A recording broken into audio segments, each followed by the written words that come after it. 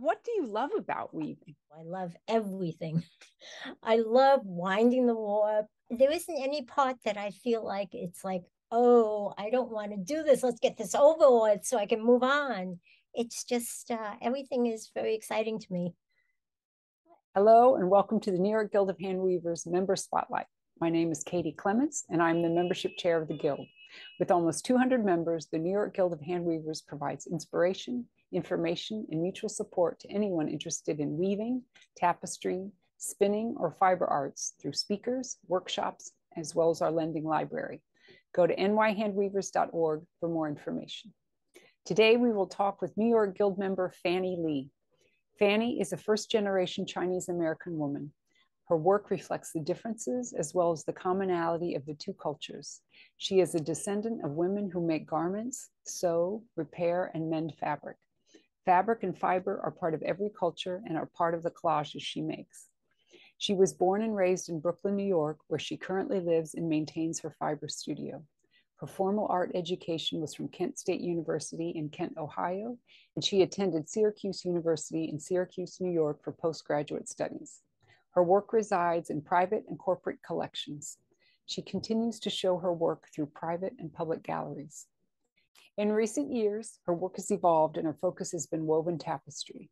This year, her work has been accepted into virtual exhibitions, as well as the Da Vinci Art Alliance Concentric Craft Show in Philadelphia, D'Art's Juried National Fiber Arts Exhibition in Norfolk, Virginia, and the American Tapestry Alliance Tiny But Mighty exhibit at Convergence in Knoxville, Tennessee. Welcome, Fannie Lee. Thank you. So, uh, tell me how you got started in fiber art. When I was a freshman at Kent State University, I was walking the commons on campus, and off in the distance was this woman sitting at a floor loom on the grass.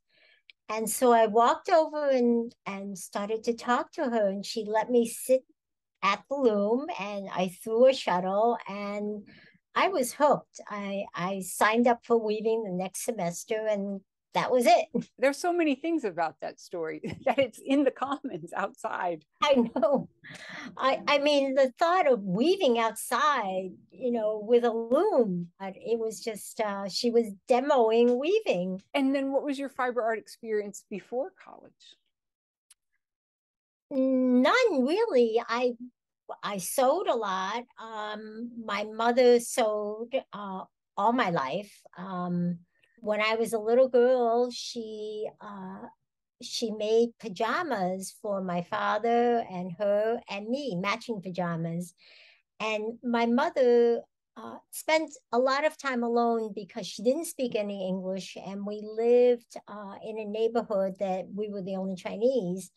So she had very few friends, um, and uh, she made things. She she liked to cook, but she but she sewed hand sewed a lot because she didn't know how to use a sewing machine. Uh, when I was in elementary school, my parents knew that going to school was very important, and the beginning of school the school year they would take me to like Macy's to buy one or two new things. And when we got home, uh, and this was also my childhood, my mother would re-sew all the buttons because she felt it was very important that the buttons were not sewn on correctly and you'd lose them.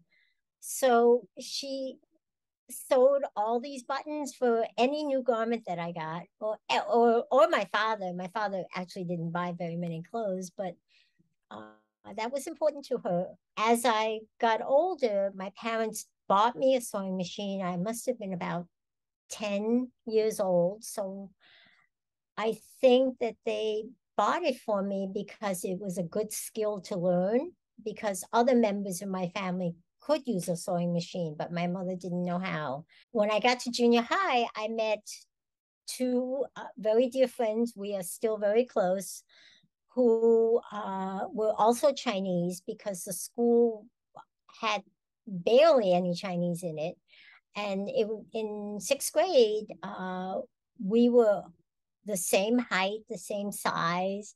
and we were the only Chinese in that grade. So we became really good friends. And uh, Catherine's mother had a sewing machine, and Catherine's mother had tons of fabrics and threads and all the accessories. And the three of us started sewing together. And that was a way to extend our wardrobe besides trading clothes with each other.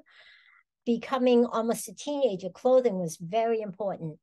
And when you didn't have a lot of money, you could, and you could make it. I mean, you certainly extended your wardrobe. And because we were the same size, we could exchange we never made the same thing. So we just exchanged and uh, tripled our wardrobe. And so then you went to college, you started throwing a shuttle, uh, and then that was undergrad. And then what was your postgrad like? I went to uh, Syracuse University um, to do weaving, and um, my work changed a whole lot. Um, when I was an undergrad, I was basically learning how to work a loom. Things were flat. The best thing about undergraduate school is that you you develop a camaraderie with other weavers and you learn from each other. When I got to graduate school, um, the same thing happened. We were only like six people in the program, and we were all doing very different things, but we fed off of each other. So my work became much more sculptural. I started to use um, much thicker um, strands of weft, and it became um, more texturous. And so my work changed and evolved. And um, when graduates uh, during graduate school, I started entering some things uh, in in juried shows, and uh, I actually won uh, a one person show for the Everson Museum, and and that um, certainly was pretty wonderful. From from that, I received, uh, I sold some work and uh, I received some, uh, I see, received several commissions and then uh, we moved to New York. I wanted to really weave, but it was so tenuous in in terms of making a name for yourself or um, things like that. So I started doing sample weaving for um, the industry, the fa- the fab- fabric industry, where you weave little samples of uh, yarns with colors and different colorways. And from that, uh, I I got a job weaving yardage for a fashion designer who was um, using the yardage of fabric to make garments. And I also wove ties for a small studio that sold to Barney's and high-end men's stores. And uh, I, um, but also I pursued other areas and received several corporate commissions where I, I wove very large landscapes to fill a wall. And then I had kids. and so I put weaving on hold for a while. And when they got older, I entered the contract furnishings industry. From that point, I received a lot of fabric samples. I gathered a lot of them and I had a stack of just papers. At that point, I evolved into making collages. So I put photos together, uh, different papers, um, different found objects, and I spent the next 20 years making collages. I continued to work in contract furnishings, and the kids moved out, and we built a studio in the house. And uh, I got to a point where I could stop working in the contract furnishings industry and go back to weaving. That's where I am now. I spend six hours a day in my studio. It's been um, a salvation during COVID, uh, but uh, this is what I do full time. How was it for you to do commission work? I gathered um, uh, photos of um, ideas that I was trying to put across and, you know, put together different yarns and colors and uh, you, you, do a presentation um, to the those people that make the decision. And um, I was fortunate enough to have a, a number of uh, commissions for the corporate world. So, uh, you know, a few things got published in a magazine, and then some someone else sees it, and that's how you get around. And it truly stopped in the 80s when the stock market crashed because then corporations were no longer looking at artwork because they had to cut their budget and it it just died just like that. Tell me about your commitment of six hours a day in your studio.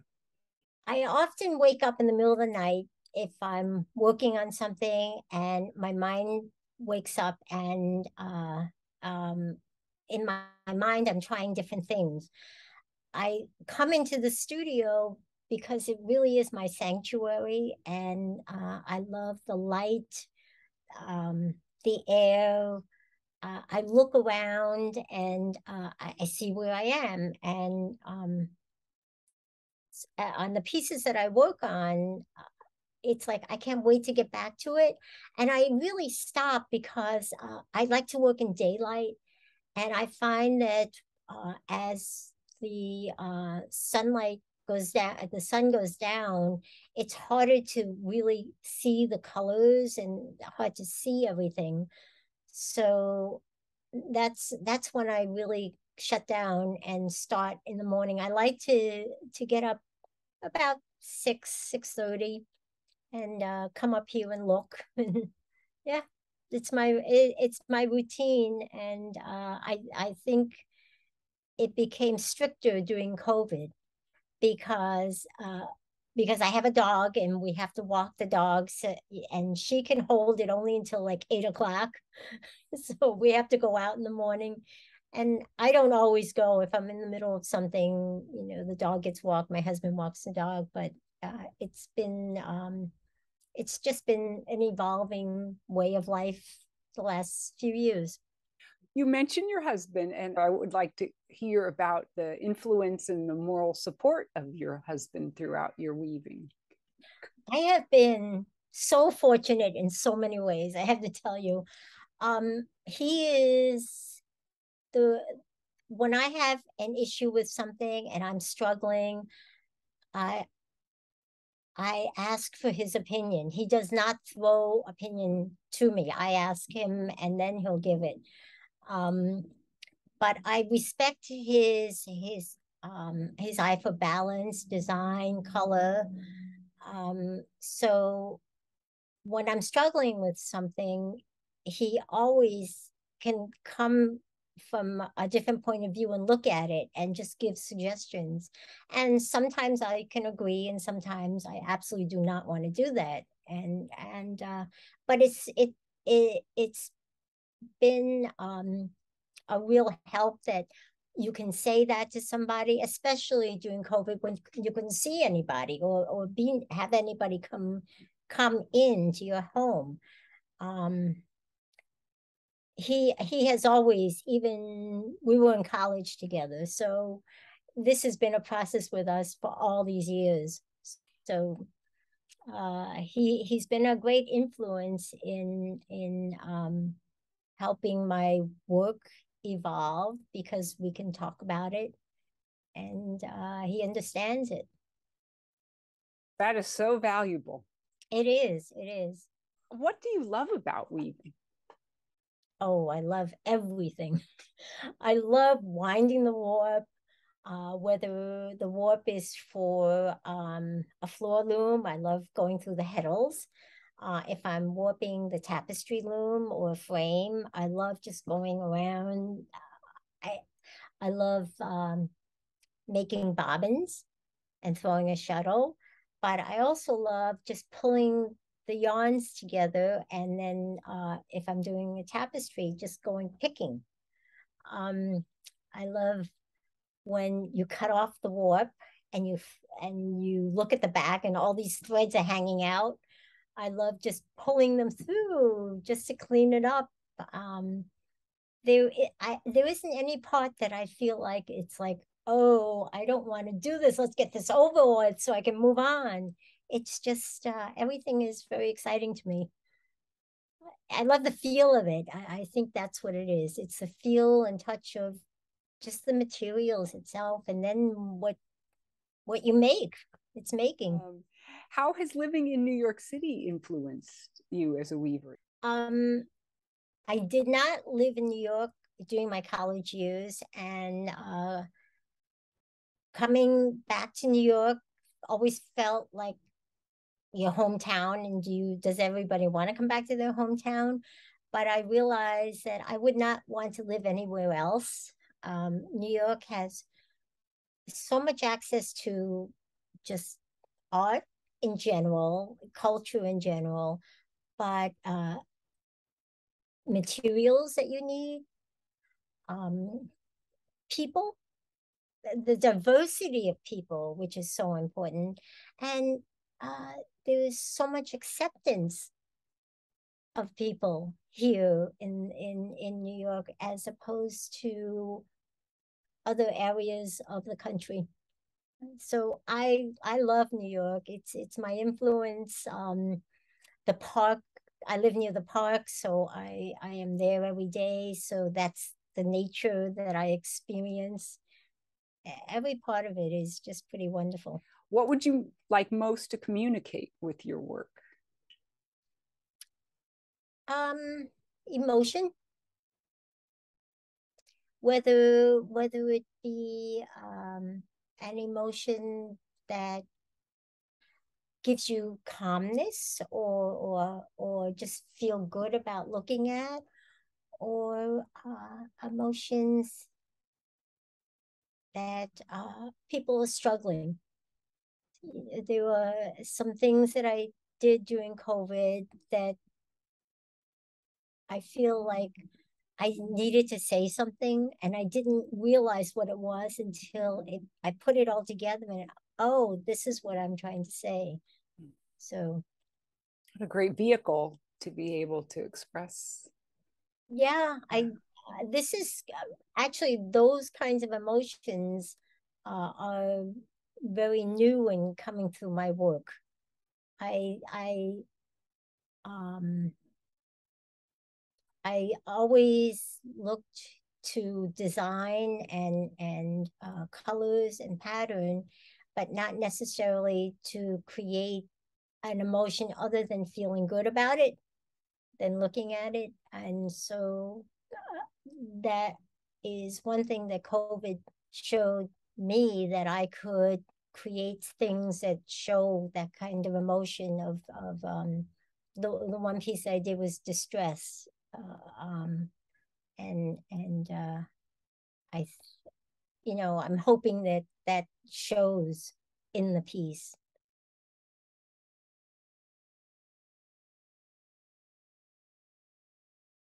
What makes you respond wow to another weaver's work? Oh, so many things. Design, color, technique, uh, how it was executed. I mean, so many things that I, oh my God, how did, how did this person do this? Trying to figure it out. Yeah, lots of, lots of expressions, lots of descriptions of, wow, you know.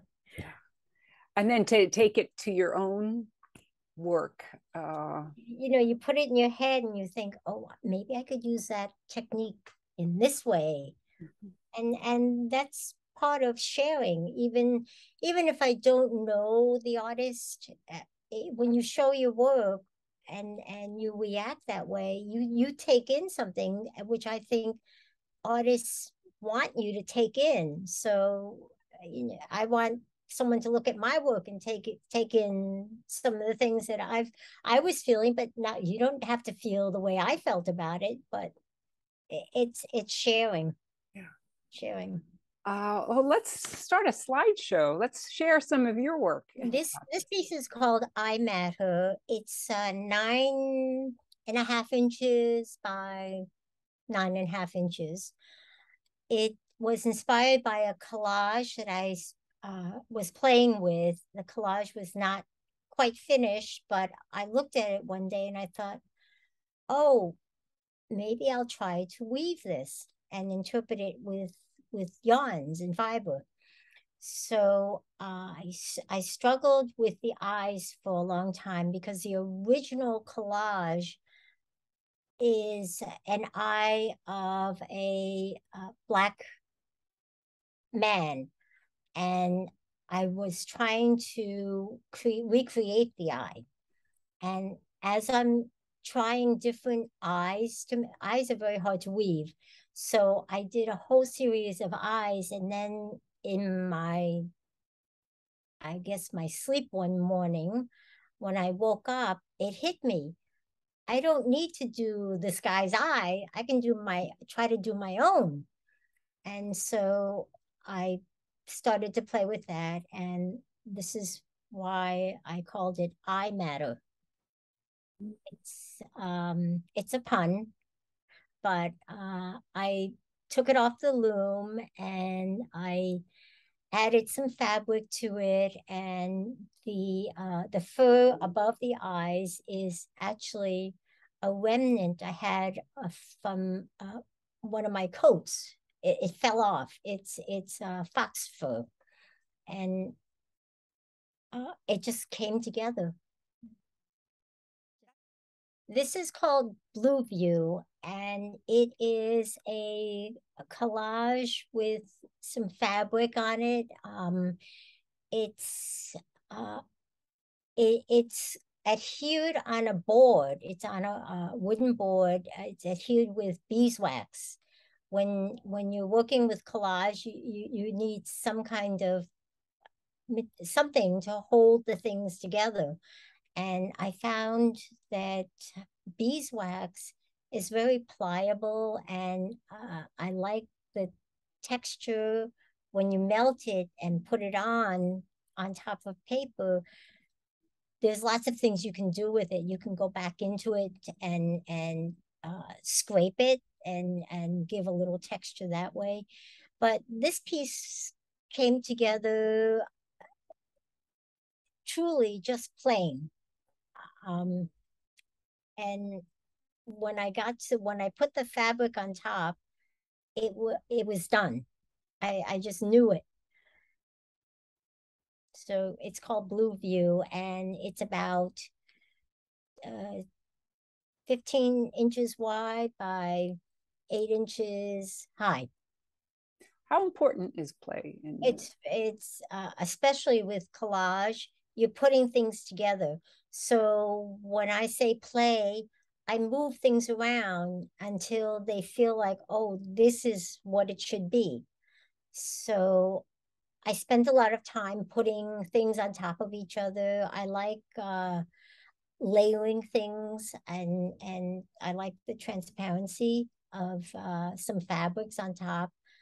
So I, I truly is playing for me. I, I don't know another word to describe it because you keep it keeps changing nothing, uh, especially making collages, no, nothing is final until you feel like it's final and then it's done. Sometimes what I've started to do is, if, for example, with eye matter, when I cut it off the loom, um, I looked at it and it needed something. It needed more dimension. And so that's when I started adding those other things to it. So weaving is part of a collage. Yes. Yeah. Yes. Beautiful. This piece uh, is one of the pieces I did during COVID. Um, it it is a result of uh,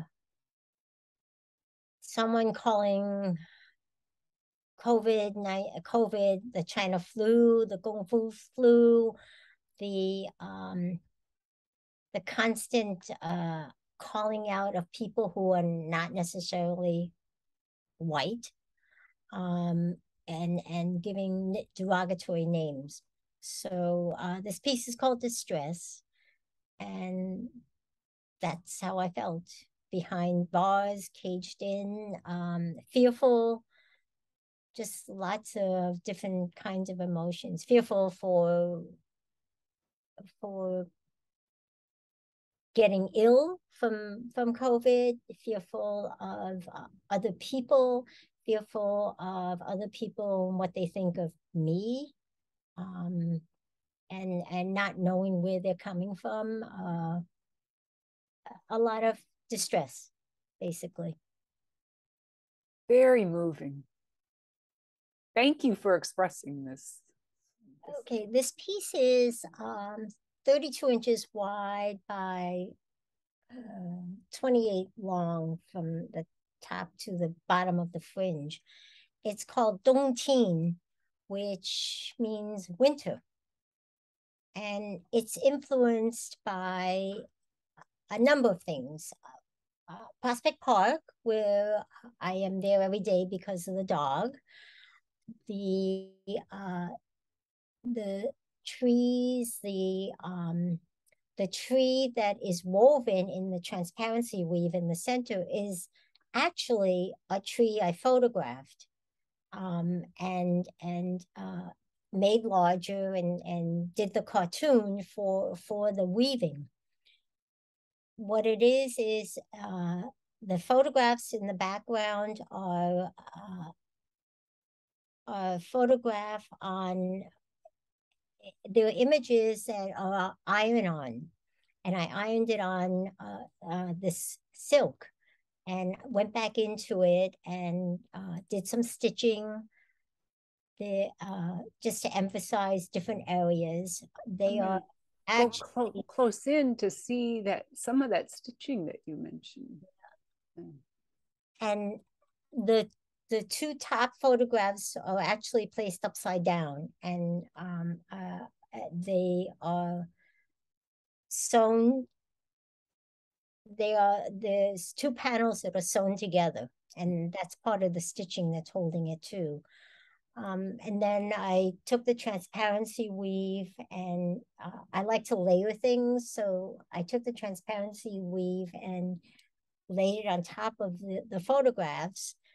And when I looked at it, it needed some color. And believe it or not, a cardinal flew by eh, uh, the house. We in the morning during breakfast, I like to look outside in the backyard. And this past year, for some reason, there were uh, just a lot of lovebirds and cardinals, which I have never noticed. A lot of robins and pigeons and all that, but I've never noticed a cardinal. So I put the cardinal, I embroidered the cardinal on top of the tree.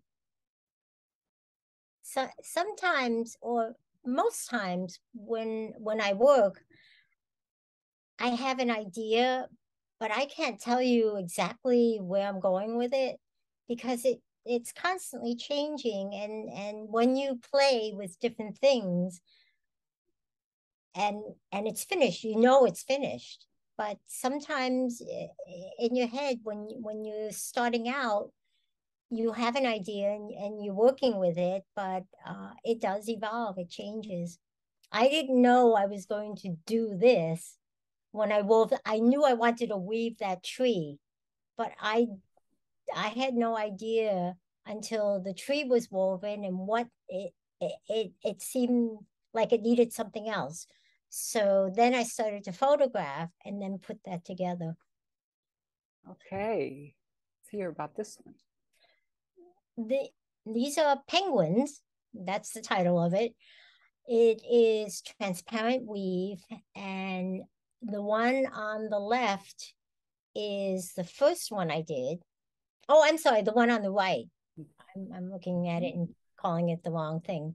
The one on the right is the first one I did, and I wove it backwards. My cartoon was under the loom, and I, I wove it backwards and uh, cut it off the loom. And it needed something else. So I thought, oh, I have enough warp. I'll, I'll weave the opposite. I'll weave the same cartoon and and I wanted to try weaving it from the front. So uh, that's what I did. I wove it from the front, and uh, these these two pieces are in the process where they're hanging, and I I'm not sure what else I'm going to do with them, but uh, I feel like it still needs something. I took some mesh fabric and I laid it over just the top portion of both of them. Is that the blue? Yeah, I oh yeah, I was wondering. I oh. painted on on it. I I just did some. I wanted uh some feeling of some some atmosphere above them. So I I laid that over the uh, loose end warps. I I do like the way the warps hang down, and uh, I sewed uh, a rhinestone eye for each penguin on one on each side, mm-hmm. and it truly is at a point where I think it needs something else, but I'm not sure what yet. But I will go back to it at some point. But I honestly, the transparent weave was much more fun for me to weave on the right. I wove from the back and then flipped it, and it felt like such a nice surprise. When I wove it frontwards, I wasn't so happy with the dark lines, and it could be that I don't, I'm not so familiar with transparent weave, and that I need to clean up my technique a little. Mm. But it, it I I miss the surprise when you kind of flip it over and oh, okay, mm. this works. Yeah. And I didn't feel that way about the one on the right. Okay, let's hear about this one. I took um uh, a class with Molly Elkind at MAFA uh, before COVID, actually. Um, it was called Collage into Tapestry. So the collage I made is on the left. And uh, when I came home, I got on my loom and I wove the tapestry on the right. This is called self sketch. And it, it, um, I learned a lot about it. Uh, I learned a lot about playing with different techniques in tapestry and I moving forward, I learned from those mistakes, and uh, it took me. It took a lot longer to finish this than I thought it was going to be, because I kept taking things out and and redoing them, but uh, it it was a learning process, and uh, this is the end of the piece. This is it. Oh, beautiful. It's pure, uh, it was pure design, design uh, choices that I used the uh, pick and pick technique in, in the striping. And it was, uh, it was hard be, to learn how to keep everything very even. And so um, I, I'm glad that I did it. But moving forward, I will know better next time. This is called determination. It's strength. It's uh, it's um, a piece I did a long time ago. And uh, it was one of the first collages that I did. And it, it was, I played, I used beeswax, I tore paper, I put it all together. Um, I added color to the beeswax. Um, I added color by putting melting crayon into the beeswax. Oh. I uh, and then I went back with uh, a very sharp tool and did scratches into it. It, it was a piece that came together very quickly, and uh, to this day, this is one of my favorite pieces of the work I've done. Beautiful this is called Yellow Moon. And again, I was playing with uh, Citra Solv is uh, a cleaning liquid that uh, when you brush on Citra Solv with um, just a magazine picture and you you uh, take an etching tool and scratch into it, the Citra Solv releases the colors onto your paper. And uh, again, it, it's from playing. Um, the yellow moon is actually a a magazine picture of a lemon and uh, i uh, it was just playing with different textures and and uh, these the center torn paper is uh, handmade paper mm. Uh, that has been glued. And the background is all Citra Solv uh, etchings that were have been uh, transposed. Oh, so here's some your studio photos this is where I live. it's where um, I spend most of my hours. And uh, the the wall where I hang pieces um, ch- is changing all the time because sometimes I need to go back and look at something. Uh, I have um, self sketch up there because I learned from so many thing mistakes that I made, made in that one, and because I'm we I'm doing tapestry again, I it reminds me that this is what I should do instead of what I did there. Uh, some of your storage supply, very organized. It's because there's so much stuff that you could spend a lot of time looking. And you made this coat. Yes. Is that right? Yes. I made the coat. I had started it many years ago and I picked it up again and actually finished it. This was one of the first things I finished when uh, I stopped working in the contract furnishings industry. Uh, the studio was not quite ready to, my loom was not erected yet uh, in the other room. And um, I just pulled this out and oh, I forgot all about it and I can finish it now. So um, I put it together and uh, knit the collar for it and uh, it's done. And how is what's the body made of? It's uh, a mixture of I think three or four different yarns. One is a mohair, one is a, a, lumpy silk, and and then just a wool yarn. And they're all about the same color, but it's a knit stitch. It's all knit. You stick your finger to make a loop as you're knitting to the next one. But that that's what the whole coat is made out of, and that's why it looks so bulky. The way this piece is displayed is just beautiful. Oh, now we get into your looms. The um the loom in the foreground is a an eight harness Leclerc, Leclerc mm-hmm. and the uh, loom in the background is a counterbalance Hammett loom. Hammett is no longer in business. That was the loom I had in college.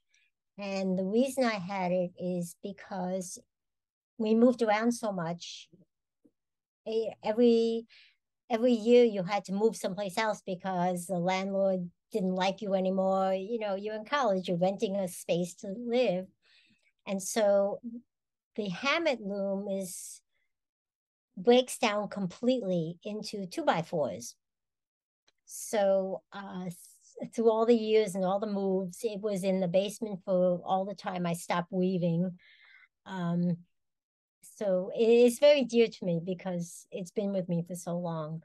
Uh, the loom, the Leclerc loom, I I bought it used uh, about the second or third year after I stopped working, and I bought that from uh, a woman in Connecticut, and we drove up and and took it apart in from her studio and moved it back to Brooklyn that's not an easy endeavor, is it? uh, it was it was great though, and I and I still periodically send pictures of the loom. I said I'm still using your loom. I love it.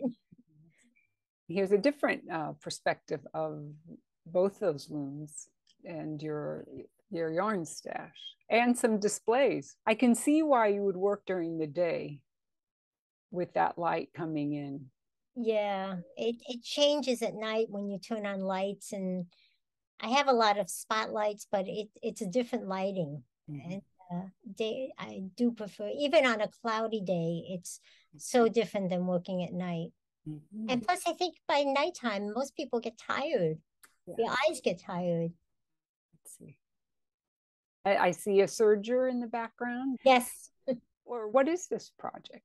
The, this is a um, baby blanket that I'm weaving for um, uh, a relative mm. who gave birth in June. Lucky I, I, actually did not know she was pregnant, so I, I would have started it much earlier. Beautiful. Lucky recipient. Uh, mm. This is another uh, view behind that Leclerc loom.